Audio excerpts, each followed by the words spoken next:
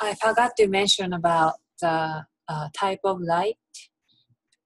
Um, when you are creating light layer from layer new light, you can um, select light type and there are two, three, four, four different light types that you can select.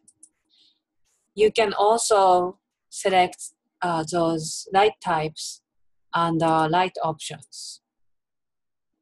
So right now I'm on spotlight layer under light options. So what if um, you created a spotlight layer, but you want parallel or ambient or point light? You can always change your light types here. And to show you um, what parallel light and point light and ambient light are, I'm gonna show you how it looks. So parallel looks like this.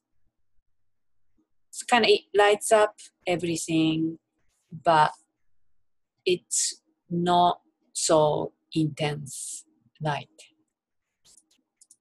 And then point light, you know, just like its name, it's a point light, but it's not, uh, you know, pointing as much as spotlight. Spotlight is this,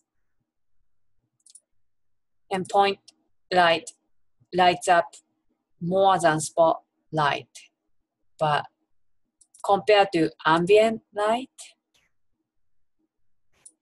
point light still points at something.